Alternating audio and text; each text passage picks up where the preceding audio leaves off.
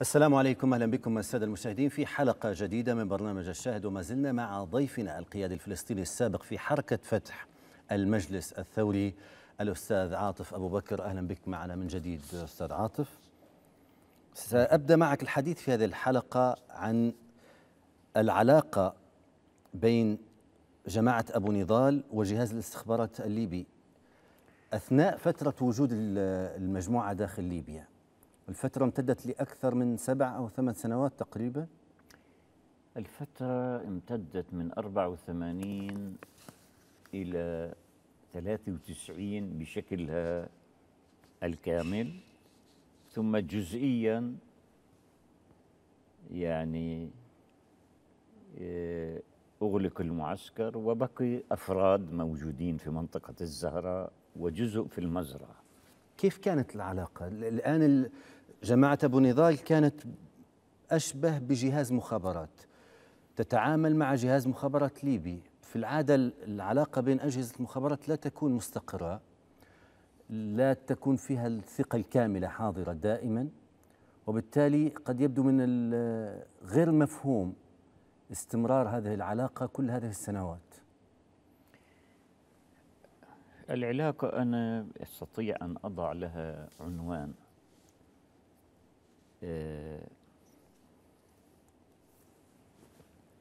بشكلها بشكلها علاقة مع طرف فلسطيني. بجوهرها آه، علاقة خدمات. بمعنى آه، أجير ومستأجر. بمعنى أنا أحتاج حتى لا أحرج وأقوم بتنفيذ مسائل عليها مردود يعني تدر منتوج سلبي بأدوات ليبية فأنت تقوم بها ليبتعد الإحراج والحرج عن النظام الليبي. هذا في العنوان العريض كما تقول العريض. في التفاصيل. العلاقة كانت الحقيقة العلاقة الرئيسية كانت مع هيئة أمن الجماهيرية. ممثلة طبعا أيضا بالشكل مع إبراهيم البشاري مكتبه لكن بالجوهر مع عبد الله السنوسي وأدواته. وكان هنالك علاقة آه، مع آه، جهة أخرى إلها يعني طابع أمني هي آه، عبد السلام الزاضمة يعني العلاقة الجوهر هناك لكن في هنا علاقة. وأنا يعني شخصيا طبعا العلاقة مع عبد السلام الصادمة بينه وبين أبو نضال هي علاقة تجاه المعارضة الليبية في الخارج. وقام أبو نضال بدور في ذلك. أنا شخصيا رأيت عبد السلام الصادمة مرة واحدة. طلب مني أبو نضال أن يعني آتي أنا وزوجتي لأنه هو داعي إلى العشاء عبد السلام الزاضمة وزوجته. وكما علمت أنه زوجته إنها كانت تسمى من الخلية الأولى. يعني لا أتذكر الآن اسمها كان اسمها في ذهني. كان يعني من الخلية الأولى اللي بيسموهم القذافي يعني.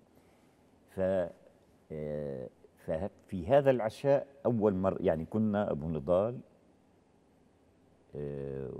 ويوسف الفرة والزاطمة وزوجته وأنا وزوجتي وأهدى في حين يعني العشاء كنا نتحدث يعني بشكل عام. يعني ما صار حديث بجانب عملياتي. آه، ف ف وأهداها طاقم من الذهب لزوجته. أبو نضال كان تحت عنوان إنه بدنا يعني الرفاق الذين يتزوجون. يأتي بطقوم من الذهب من لبنان تحت اسم. لكن كان يهديها لآخرين وكما علمت من يوسف الفرة عندما أخرج ابنه ابن نضال أخرجه من المزرعة وهو قال لي أنه خبأه في صندوق السيارة لأنه كان خائف ابنه وأخرج 15 كيلو ذهب من هذه المواد معه إلى مصر ابنه عندما التحق بي بمصر. فأنا يعني شفت رأيته أعطى زوجتي طاقم الذهب لتهديه للمرأة لزوجة عبد السلام. يعني مرأة لمرأة تهدي بس لكن على المكشوف يعني أمامها يعني إنه لو سمحت تقدمي لها إياه. حتى هو لا بتعرف مرأة بتلبس مرأة يعني العقد أو كذا. فهذه المرة لكن أيضا مثلا أنا ذكرت في التفاصيل إنه ليلة لوكاربي كما ذكر لي محمود صالح قال في سوق الجمعة جاء البشاري وجلسوا ساعة ثم قال ذهبت أنا وياه إلى عبد السلام الزاضمة.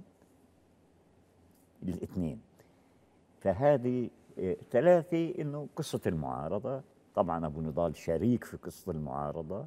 حتى المرأة التي جاءت وطلبت أن أخرج قالت لزوجتي زوجك نظيف اليد شريف لم يتلوث بدم الليبيين.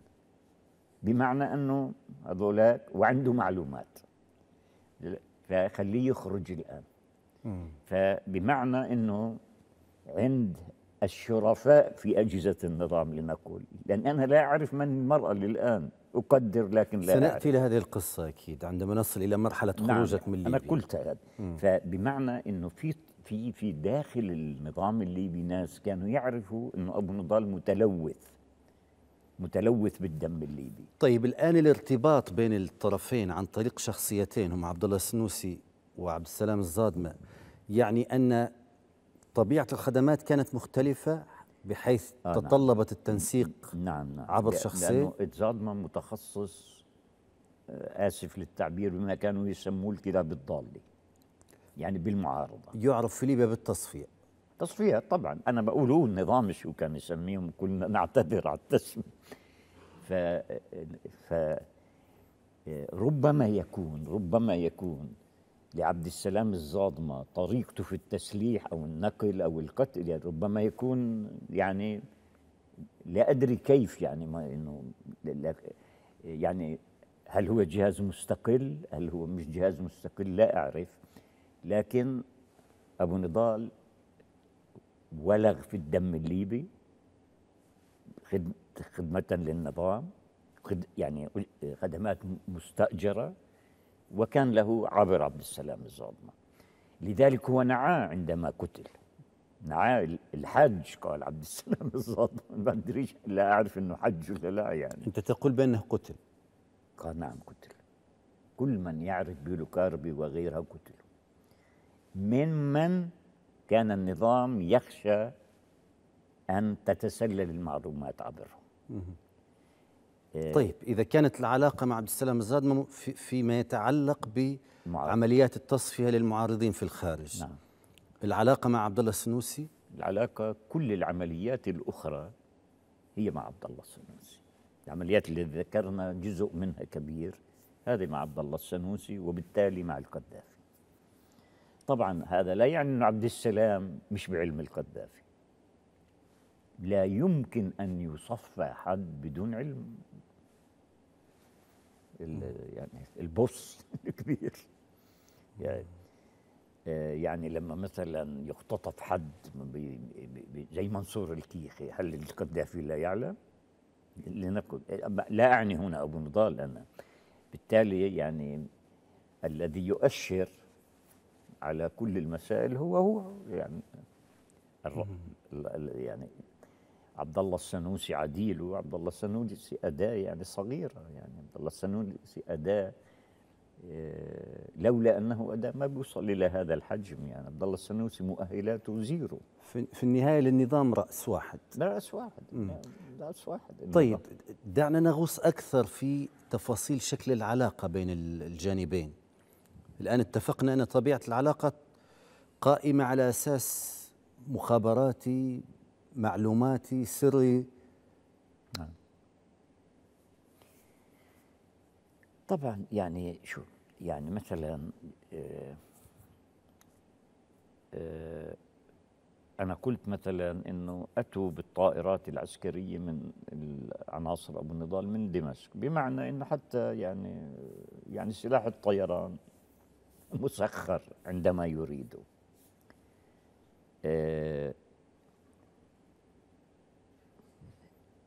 نقل السلاح للخارج عبرهم. كيف كانت ترتب العمليات الآن؟ تقريبا معروفة بنسبة كبيرة. نعم.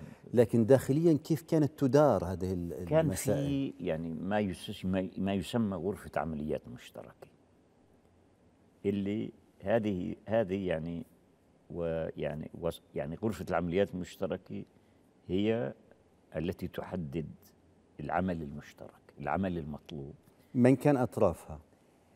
هنالك ثلاثة أشخاص لا غيرهم. اللي هم كان لهم علاقة بالأهداف وبنقل السلاح. عبد الرحمن عيسى طبعا أبو نضال. طبعا أبو نضال والقذافي هي أمر طبيعي. عبد الرحمن عيسى في مراحل أخرى يوسف علي الفرة في وفي النقل آه، عبد آه، حمدان أبو عصبة اللي هو عزمي حسين. هؤلاء.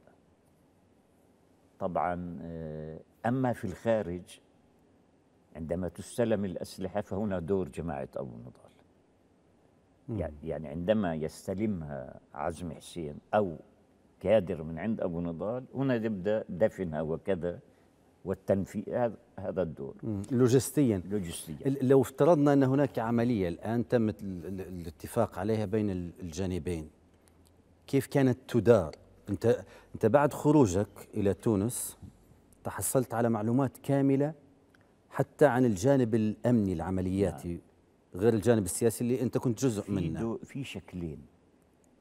في شكل المراقبة والتنفيذ من أبو نضال جماعته. زي ما قلنا أحمد البراني المراقبة والتنفيذ كامل من جماعة أبو نضال. أنا ما أبحث عنه هو معرفة كيف كان يتم ترتيبها. هل هي اجتماعات تق- تقابلية بين الطرفين, الطرفين أم. مراسلات مشفرة؟ لا لا لا اجتماعات مباشرة مباشرة. اجتماعات في هيئة الأمن اجتماعات مباشرة. داخل هيئة الأمن. آه آه اجتماعات يعني موجودين الطرفين. موجودين الطرفين في ليبيا. يعني قبل قبل وال والمركز كان في الشام كان يجي عبد الرحمن عيسى وقلت كان في اثنين يوسف الفرة وأبو عصبة موجودين في ليبيا. فكان يأتي. لكن الآن هم في ليبيا فالطرفين معا موجودين. فكان يعني حسب الهدف. إذا الهدف مثلا ما في قدرة تنفيذ يعني ما في قدرة لا استطلاعية ولا تنفيذية للجانب الليبي فيقوم بكل الدور الجانب ال- أبو نضال لكن في أحيان أخرى مثلا في روما في روما الاستطلاع جماعة أبو نضال والاستدراج ثم التنفيذ جماعة عبد السلام الظالمة. في أدوار أخرى في أدوار أخرى الاستدراج يعني هم يتفقوا مع معارض إنهم يلتقوه إنه فصيل فلسطيني وكذا. يعني في وسائل للخداع. وثم يأتي الدور ال- ال- يعني التنفيذ إيه، من أدوات ليبية أو أدوات أخرى مستأجرة من الليبيين. يعني ف أما أداة التنفيذ هي السلاح. السلاح كان للجماعه في مخازن هيئة الأمن سلاح. هل هناك عمليات جرت بالعكس بحيث أن ال- الهدف كان هدف لأبو نضال وساعد الجانب الليبي أو قام بدور ما في ترتيب ال- نعم.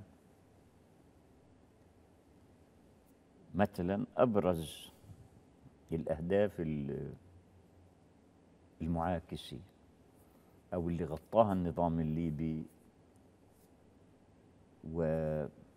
وسهل قتل أبو إياد مثلا. قتل أبو إياد في تونس. الأداء أبو نضال. ال- الرغبة لي القذافي.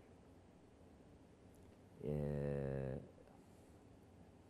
القاتل لم يكن في ليبيا. القاتل دخل إلى ليبيا وأقام. دخل عبر التسهيلات الليبية.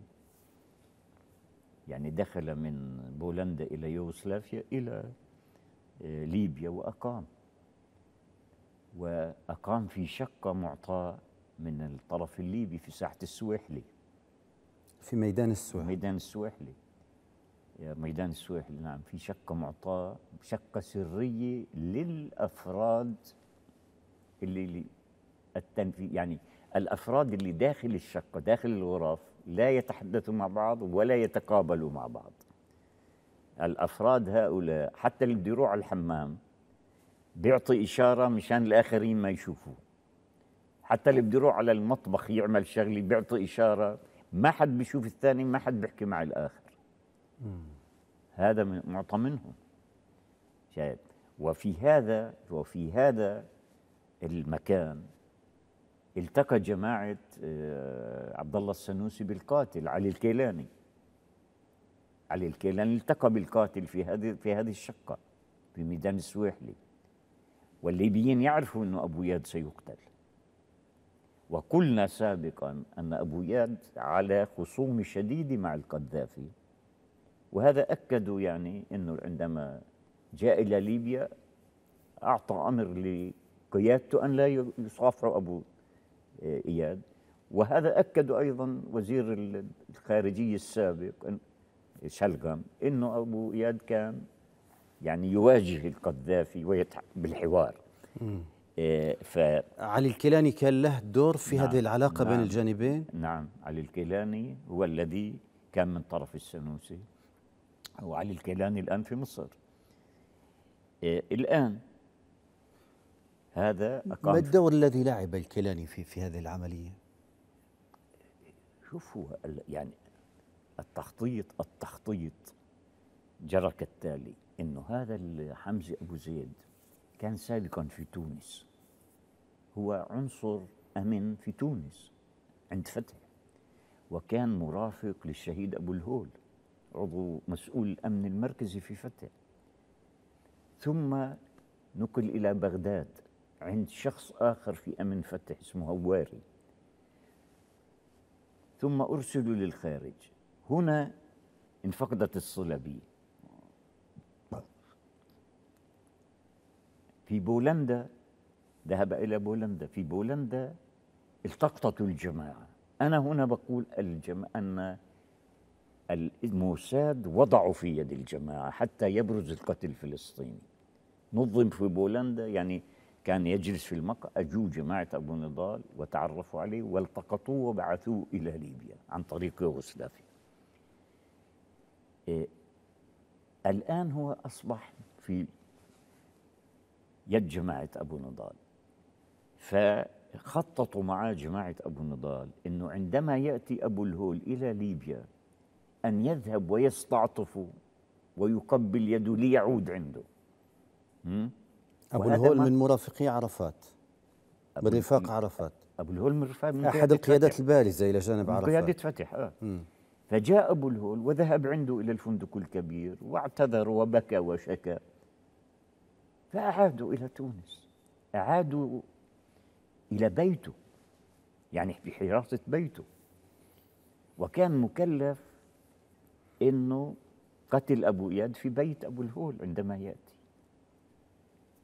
فحتى سئل في التحقيق إنه طيب لو اجتمعت قيادة فتح في بيت أبو الهول من ستقتل؟ تقتلهم جميعا؟ قال لا. سأدخل مثلا القهوة أو الشاي وأقتل أبو إياد تحديدا. وقال أنا رأيت أبو إياد في احتفالات لفتح موجودة قيادة فتح في احتفالات وكنت قادر أقتله. بس أنا ما بدي أقتل آخر بدي أبو إياد تحديدا. يعني هناك تكليف. تكليف هناك تكليف. طيب الآن أنا يعني فيما قلت فيما كشفت أنا ولم يكشفوا تحقيق فتح يعني للأسف تحقيق فت أنا يعني قرأت إن عندما هو كان يعني عندما قتل أبو إياد احتجز زوجة أبو الهول وبنته وطلبني أنا بالاسم. فأنا قلت للتوانسي أنا مستعد أروح. أنت كنت موجود في تونس. الآن لأن العملية نعم القتل حصلت في, حصلت في سنه 91 كنت في تونس. خلينا بس نأسس للموضوع بس. نعم. أبو إياد تم تم اغتياله في سنة 91 أعتقد. نعم 91 في 14 واحد. أنت كنت قد خرجت من ليبيا. آه نعم, نعم. اختلفت مع أبو نضال في في نهاية 89 نعم, نعم, نعم. في هذه الفترة كنت موجود في كنت تونس. موجود في تونس. القاتل الآن طلب من أجهزة الأمن التونسية أن يتصل بك. القاتل ترك سيارته تش- تشتغل في الخارج. القاتل كان متأكد أنه سيهرب. بده ينفذ ويهرب. لأنه القاتل ذهب وقرع الجرس ففي خدامة سريلانكية فتحت الباب فقال بدي أصلح الكهرباء وأغلق الباب وقتل. فالقاتل والحراسات كانت يعني بيلعبوا ورق تحت في البدروم. فكان هو متأكد لأنه هو حارس في البيت ويعرف التفاصيل. ف ف فكان متأكد وكان سيهرب عند ابن عمته. ابن عمته هو الذي يدخل ويخرج الناس في تونس. الفلسطينيين. ابن عمته نائب السفير الفلسطيني في تونس. واكتشف فيما بعد إنه موساد. اسمه عدنان ياسين يعني عميل مشهور. فكان سيهرب عنده. اذا ما علاقة يعني هذا ابن عمته. اذا هذا موساد هذا وضع في يد جماعة أبو نضال. فعندما سمع الرصاص لم يستطع أن يهرب فاضطر أن يحتجز المرأة وبنتها وطلب أنا فقالوا له هو بالجزائر. قال بده طائرة تجيبه أنا استعديت مقابل المرأة والبنت فالتوانسه رفضوا إنه إنه بدك تيجي تموت يعني. ف وبقي التوانسي يعني يستعملوا حيلهم والغاز إلى أن استسلم. الآن التوانسي حققوا معه. أنا قريت التحقيق التونسي ونشرته وأقول التحقيق التونسي به بعض المهنيه به مهنيه بما يستطيعون هم مش متخصصين بوضع ضمن. ثم أعطي التحقيق للفلسطينيين. جرى تحقيق من فتح بو الحقيقة أن تحقيق الذي جرى من لجنه من فتح مهزلي ومسخرة وتحقيق يدين المحققين. كل الأسماء التي وردت هنا لم ترد هنا. كل المواقع التي وردت هنا لم ترد هنا. إحنا كنا في ساعه السويحلي في تحقيق فتح بيقول في خرابي ما فيها مي ما فيها كذا ما فيها. هنا الأسماء مخ... وكأن الذين استلموا التحقيق التونسي لم يقرؤوه. ثم جرى عندما نقل إلى إلى صنعاء يعني لل- للتحقيق ال- المحكمي جرى تحقيق ثالث. وهنا يعني التحقيق هذا استند إلى التحقيق التونسي. لكن به ثغرات كبيرة إنه التحقيق مثلا وارد اسم نعيم يوسف. إنه آه، من اللي هيئوا للقتل. بقولوا كادر عند ابو نضال. طب يا أخي هذا زوج أمه اخت ام نضال. وهذا قيادي عند ابو نضال. يا أخي اسألوني. طيب جرى إنه عيسى صلاح اللي جابوا من يوغوسلافيا. كاتبين عيسى جرادات. عيسى جرادات اسم آخر بلبنان للجماعة لم يدخل تونس. طيب عيسى صلاح وحكم إعدام في المحكمة هذا عيسى صلاح فأنا يعني اتصلت برام الله يا أخي شو بتلعبوا؟ بعدين يا أخي عيسى صلاح أنتم دخلتوه على رام الله بي بي بي بي اجهزتنا دخلته الأجهزة الفلسطينية وأعطيتوه تقاعد. أنتم حاكمين واحد أعطيتوه ت- إعدام أعطيتوه تقاعد. أنتوا لو قلتوا لي نعيم يوسف بقول لكم اسمه معن اسمه خليل صلاحات ابن أخت ام نضال وكان في عند صدام حسين عايش يستطيع صدام أن يسلمكم اياه يعني لماذا هذا العبث اللي بتشتغلوا به أنا بتونس اسألوني. ما في. شايف؟ بالتالي بالتالي يعني يعني في في مهازل كانت تجري.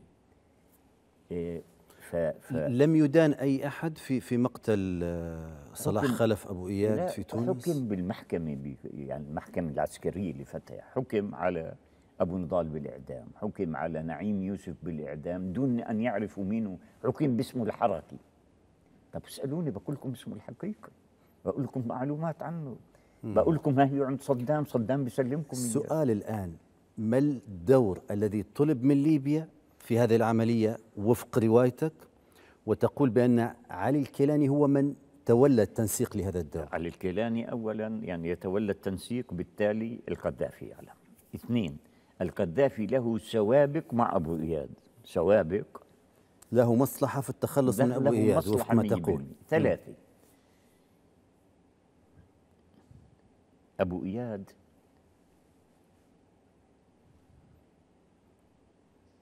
هل دخلت أمريكا على الخط وغيرها؟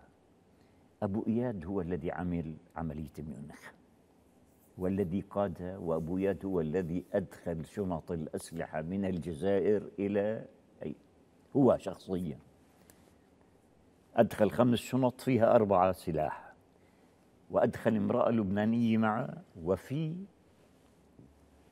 وجواز دبلوماسي مع بالتفتيش قال لهم أنا دبلوماسي وكذا اتفقوا أن يفتشوا شنطة واحدة أعطاهم شنطة المرأة.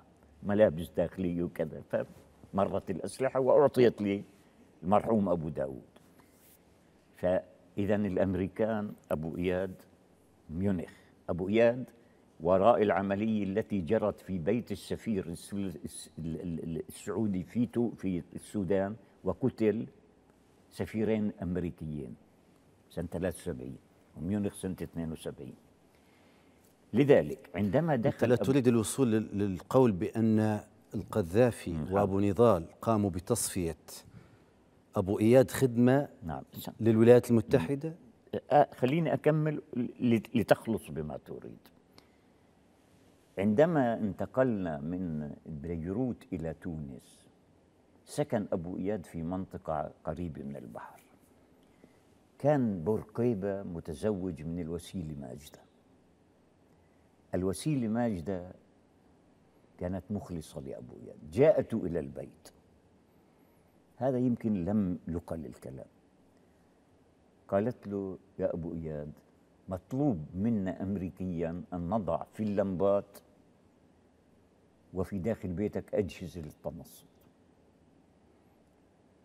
ومطلوب منا أن نعرف حجم تصفيح سيارتك المصفحة. مجبرين أن نعمل. يعني الحبيب بورقيبة مجبر. طبعا هي تقول سرا لأبو إياد لكن خذ حذرك وانقل البيت فانتقل البيت هلأ أبو اياد مطلوب رأسه امريكيا مطلوب رأسه اسرائيليا لأنه هو عام 72 لما جرت عملية ميونخ وقتل 11 رياضي إسرائيلي. جولدا مائير عملت قائمة انتبه لي الآن قائمة حمراء سمتها الذين خططوا ونفذوا يجب أن يقتلوا. الآن أخي خالد بدي أقول لك مين اللي خطط ونفذ لتعرف من قتله رأس العملية أبو إياد من قتله أبو نضال. صاحب فكرة العملية والتخطيط محمد فخري العمري قتل مع أبو إياد قتله أبو نضال. شريك في العملية عاطف بسيسو من قتله أبو نضال. والقاتلان للأسف واحد منهم الآن في رام الله. هذه حسب الصور الفرنسية وحسب اسمه محمود خضر العذراء وواحد آخر اسمه مرعي صايل كروم. مات في طرابلس قبل فترة في طرابلس ليبيا.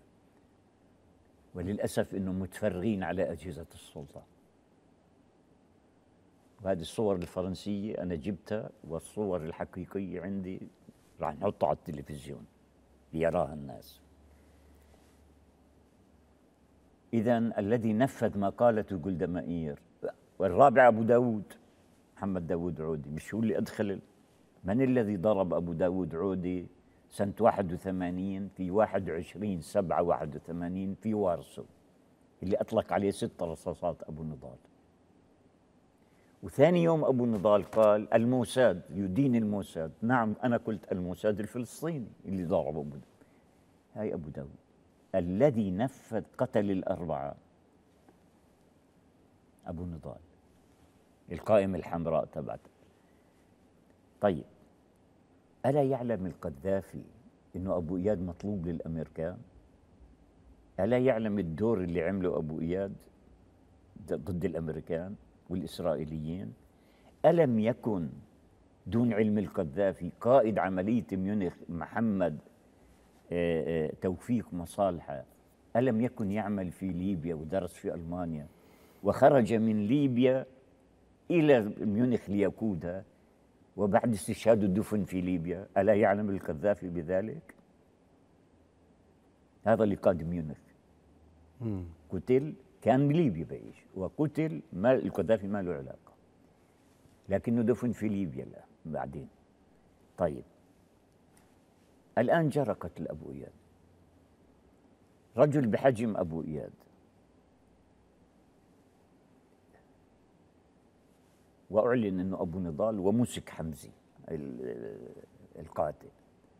طيب ماذا يعني يعني اذا سيتهم القذافي مباشرة إنه أبو نضال عندك. طيب شو أخذ إجراء؟ لا شيء.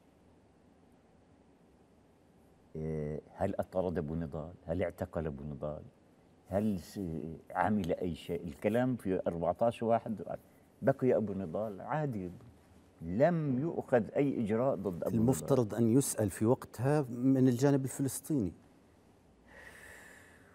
الجانب الفلسطيني سأل. قذافي لا شيء. إنه صراع فلسطيني. فلسطيني فلسطيني. ليش حمزة وضع من الموساد في يد آه، أبو نضال؟ وليش حمزة طلبني أنا ليبرز إنه بدنا نقتل هذا الذي شق الجماعة؟ وليش أبو نضال القاتل؟ مشان يبرز إنه فلسطيني فلسطيني ويبرز إنه نتيجة الانقسامات. طب أنت ماذا أخذت يا أبو يا قذافي؟ شو؟ ليش على الكيلاني شارك؟ أنا طلبت من القيادة الفلسطينية مرة قلت لهم إنه بعد سقوط النظام الوزارة الخارجية اللبنانية بعثت وفد ليسالوا القذافي طلب من النظام الجديد إنه يسالوا عبد الله السنوسي وين الإمام الصدر؟ فطلبت من رام الله يا عمي ابعثوا. أبو اياد يستحق أن تبعثوا تسالوا عبد الله تطلبوا من السلطة في طرابلس تسالوا عبد الله السنوسي. لماذا تم وكيف تم الأمر؟ يا للأسف لم لا يعني لم ما الدور الذي لعبته ليبيا ممثلة في علي الكيلاني كما تقول؟ لأن علي الكيلاني التقى بال بشخص المنفذ طبعا علي قبل انتقاله إلى تونس. الكيلاني سينفي طبعا. للكيلاني مبعوثا يعني يعني يعني أي شيء أي عمل. بده يتكلف أحد أدوات عبد الله السنوسي. فهذا الذي لعب الدور يعني بمعنى عبد الله السنوسي عبر هذا. طب عندما ماذا يمكن أن تكون ليبيا قد قدمت لتنفيذ هذا العمل؟ أنا يعني قد قدمت ربما تعمي ربما تسهيلات ربما وعد أنها لن تأخذ أي إجراء ضد أبو النضال. ربما تشجيع. لا يمكن أن يقدم أبو نضال على عمل بهذا الحجم دون علم النظام الديني كل ما توقعته لا يقتضي أن يلتقي شخص في مستوى علي الكيلاني بالمنفذ في شقة في ميدان السواحلي في طرابلس. كما تقول أنت طبعا. ربما هناك شيء آخر غير غير التفسير اللي ذهبت له. يعني أنا آه، في تنظيم سري بهذا الحجم وفي عمل أنت لا تستطيع أن تعرف كل الدقائق. أنت تستطيع أن تعرف جزء وأن تستنتج جزء بعقلك. يعني تعرف هذه آلية العمل في هذه المنظمة آلية العلاقة. يعني هم يستطيعوا أن يقتلوا بدون علي الكيلاني لكن لماذا علي الكيلاني؟ إذا الليبيين الطرف الليبي يعلم. هناك مصلحة مشتركة, مشتركة. هكذا إذا الطرف الليبي عندما يعلم ويغض الطرف فهو شريك. إيه، لأقول لك مثلا وإحنا في سوريا أبو نضال حاول إغراء السوريين بشغل. أبو نضال شريك في قتل قيادي سو قيادي مسؤول الصاعقة اللي هي التنظيم الفلسطيني في عزول أبو اللي قتل في كان اللي قتلوا من جماعة أبو نضال. ثم أبو نضال صفى في, في المستقبل صفى القاتل مشان يخفل أبو نضال لما السوريين طلبوا إنه هذا فلان زهير خالد بدنا نقابله مشان مسألة جرت في المقاهي الشعبية بالكويت لأنه هو اللي قادها هاي. فأنا ذهبت لأبو أنا اللي طلبوا مني محمد الخولي اللي هو محمد الخولي. وأنا لا أعرف ليش طلبوا. فذهبت لأبو نزار قلت له اللي هو الخولي بده قال لي قل له. قال لي مش ممكن يخليه يعطيه. ليش؟ قال لي أنت اسأله. فأنا لما قلت له بدهم فلان قال لي لا يمكن. لا يمكن. فيما بعد عندما قتل بسيارة متفجرة أخبرني أبو نزار قال لي السوريين بدهم اياه مشان زهير محسن ماذا عمل أبو نضال مقابلها؟ طرح على السوريين عبر عبد الرحمن عيسى قتل أمين عام جبهة التحرير العربية اللي هو التنظيم الفلسطيني للعراقيين؟ فماذا أجاب السوريين؟ نحن مش معنيين نحن مش معنيين اذا القذافي كان بإمكانه يقول نحن مش معنيين أو القذافي كان بإمكانه يقول يعطي مثلا إيه، هيك إيه، يعني موقف تاريخي لأبو إياد. يا أبو إياد كانوا بدون هذا وأنا حميتك؟ يعني كان بإمكانه أن يقدم إيه، موقف تاريخي للقيادة الفلسطينية أو أن يمنع. شايف؟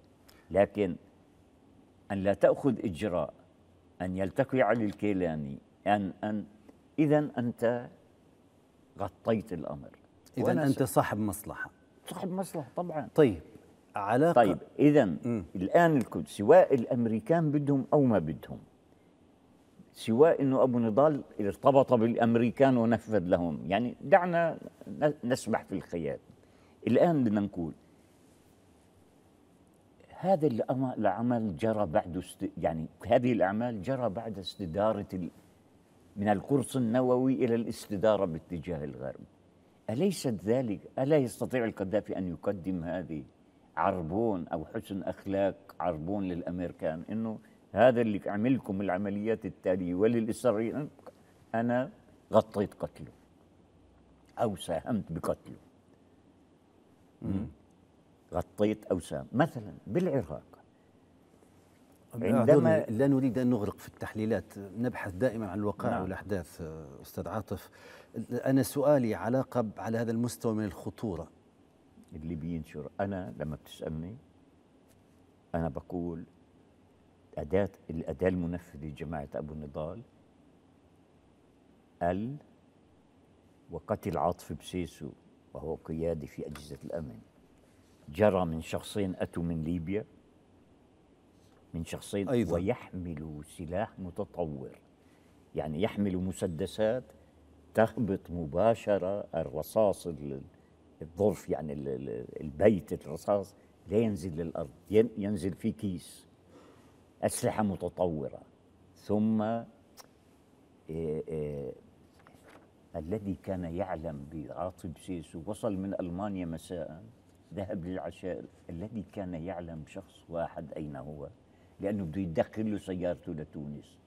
هو الجاسوس عدنان ياسين هو لأنه هو اللي بدخل السيارات. ابن عمة حمزة قاتل أبو إياد. فقتل في نفس الليلة عاطف سيسو. من جماعة أتت من ليبيا.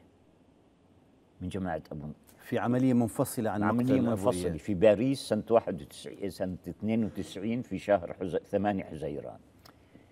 أنت لم تأخذ أي إجراء هنا أو هنا. لم تأخذ أي إجراء. إذا القتل من عندك يخرج من مطاراتك بتسهيلاتك. إيه إيه هذا السلاح المتطور من أين أتوا به؟ سواء سواء دخ- دخلوا به فرنسا من ليبيا أو سواء سلم لهم. من أين هذه السرعة اللوجستية اللي يعلموا أنه عاطف جاء من عاصم سيسو جاء من ألمانيا صباحا بسيارته؟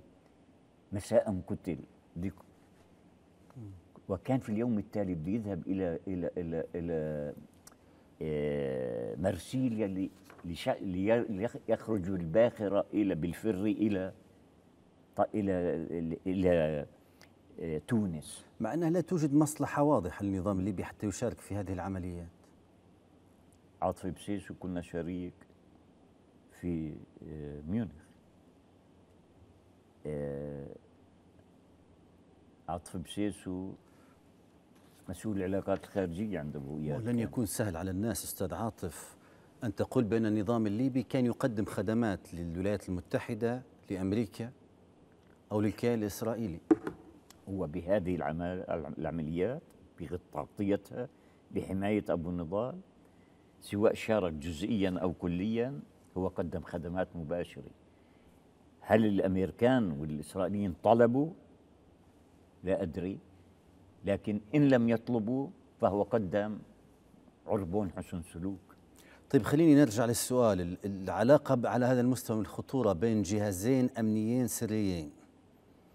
لم يحصل أن شهدت خلافات بين الجانبين بين قيادات ليبية وقيادات فلسطينية من جماعة أبو نضال أنا يعني طيلة وجودنا في ليبيا لم أسمع من أبو نضال. آه، مرة أنا سألته قلت له انت وضعت كل البيضات في ليبيا. في سلة القذافي. سلة القذافي. بيستطيع تكسيرها كلها وإنهاء الجماعة. قال لي شو المطلوب؟ قلت له ننوع أمكنة التواجد. قال لي شو مثلا؟ كنت بروح على اليمن الديمقراطي. وذهبت وافتتحت علاقة. بروح على إثيوبيا. بروح على المجر. بروح عند الروس. وهذا تم مني بروح عند التشيك. يعني كان في توجس أنا لدى مني أنا مخاوفي. وافقك في في هذا الأمر. لا لا هو بيقول لي ماذا تقترح؟ لكن هو شو أجابني؟ قلت له ألا تخشى يكسر كل البيضات؟ أجابني التالي قال لي هم ماسكيني برقبتي وأنا ماسكهم برقبتهم. يعني بمعنى أنا قلت لك امبارح إنه في لوكربي لما هو خرج بعدين يعني لما أخ... وصار يطلب تعويضات طلب تعويضات 50 مليون دولار عن ممتلكاته في ليبيا. ف... فوقف صلاح عبد العزيز. أنا امبارح كنت صلاح محمود. صلاح عبد العزيز اللي هو اسمه عبد الله حسن في مجموعته أبو نبيل توفى الآن. هذا من اللي أجوا معنا. وقف وقال نحن نعرف دورهم في الكربي نعرف لياليهم الحمراء نعرف كذا لأنهم شركاء يعرفوا. شركاء. هذا التصريح من عضو مكتب سياسي لا يتم بدون ابو نضال قلت أنا امبارح أنه كان يهاجم أطراف في النظام الليبي ويبتعد عن القذافي في تلك المرحلة مرحلة الثمانينات كان الطرفان ارتبطوا بمصير واحد. وبالتالي يصبح من الطبيعي لا تحدث أي خلافات حتى مع هذا الحجم من الخطورة أنا والعمل. أنا أخي خالد صعب أن يكون خلاف بين السيد والعبد.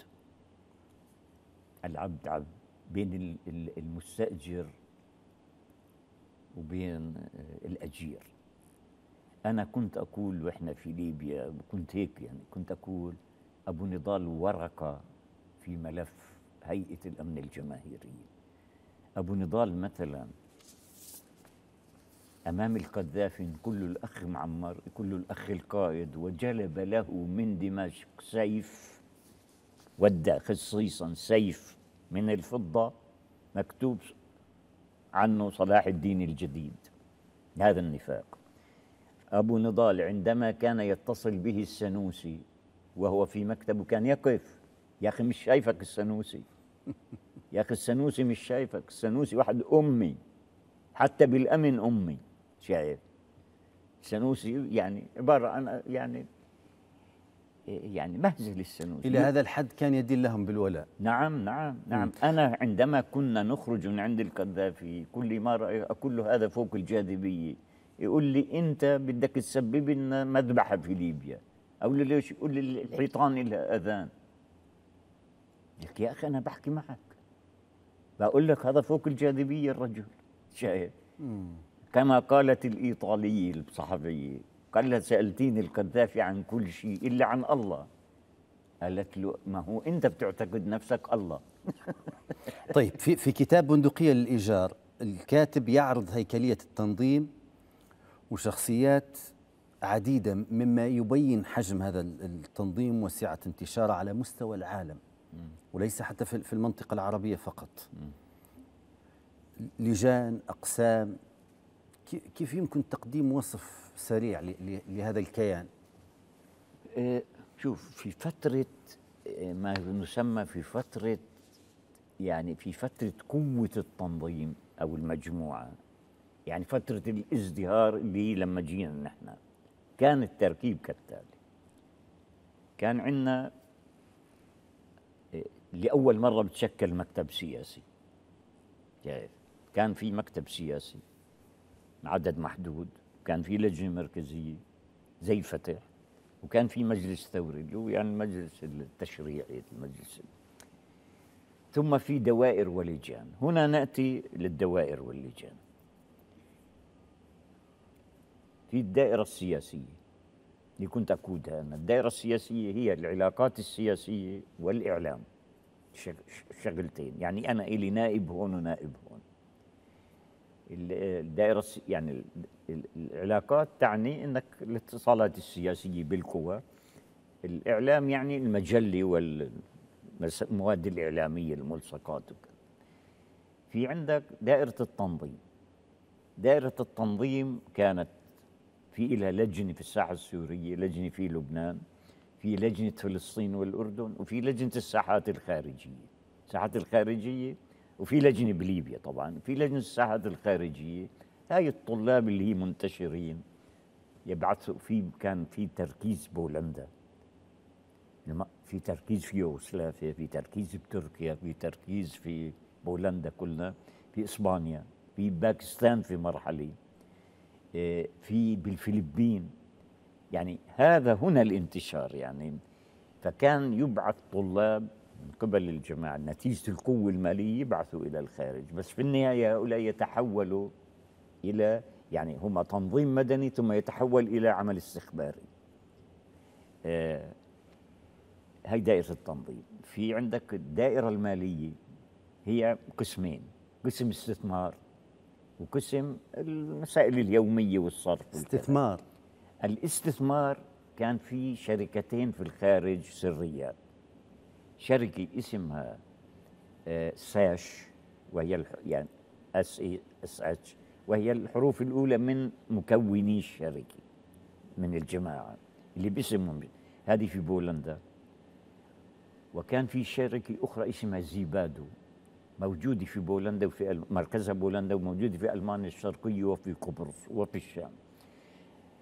هذه علاقتها مع التجارة الخارجية وهذه علاقتها مع التجارة الخارجية. وظيفتها هي في بولندا مثلا لنأخذ مثل أو في ألمانيا. بولندا وظيفتها التجارة بالأسلحة أو إيه، إيه، أن تكون وسيط للبولنديين في تجارة الأسلحة. لذلك أبو نضال في أثناء الحرب الإيرانية العراقية العمل اللا أخلاقي كان يبيع سلاح لهؤلاء وهؤلاء. كان هون وهون رغم أنه طارح نفسه رجل قومي. وطارح نفسه أنه موالي للثورة الإيرانية كذبا. ببيع هون وهون مشان يقتلوا بعض. ماليا كانت أمور المنظمة واضحة؟ آه طبعا. هلا نكمل الدو... هلا في عندك الدائرة العسكرية قلت هي تشكلت في لبنان للمقاتلين في لبنان الدائرة العسكرية في لبنان. في عندك آه، لجنة فنية اللي هي للتزوير والكذا. كيف عندك لجنة علم تزوير جوازات وفيز وكذا يعني. مسائل ومسؤولية المطبعة والتزوير كل مسائل التزوير. كانت الجماعة قد استجلبت مطبعة نعم وهي في نعم. في طرابلس. تم, تم استيرادها من من إيطاليا. من إيطاليا. إيه عندك لا خلينا نقف بس عند أعمال تزوير المستندات التي كانت تتم. يعني أنت بدك مثلا تعمل رخص سياقة السيارات بدك تعمل جوازات أردنية بدك تعمل فيز. يعني بدك تتابع الأختام في المطارات في آخر آخر نسخة للأختام. ثم تقلدها مشان تختم. يعني مثلا أنت لما تستعمل جواز أردني بدك حتى يبرز بدك تعمل له خروج من عمان. حتى لا يشك. فكان ختم عمان موجود. كان تعمل تقدر تعمل فيز تقدر تعمل آه، شهادات ميلاد. طبعا الناس اللي جاي اللي ما عندوش تقدر تعمل شهادات مدرسية بتقدر تعمل شهادات تخرج. كله كيف وصلت جماعة أبو نضال إلى هذا المستوى نعم المحترف كان عمل فيه. متطور في لجنة علمية. هلا خليني بس أقف نعم. أكثر عند نعم هذه اللجنة. نعم. التزوير الوثائق بهذه الدقة والاحترافية تم عبر كوادر فلسطينية فقط آه، أو كان في أجانب؟ لا لا فلسطينية. الفلسطينية م- يعني ماهرة في الت- التزوير كانت.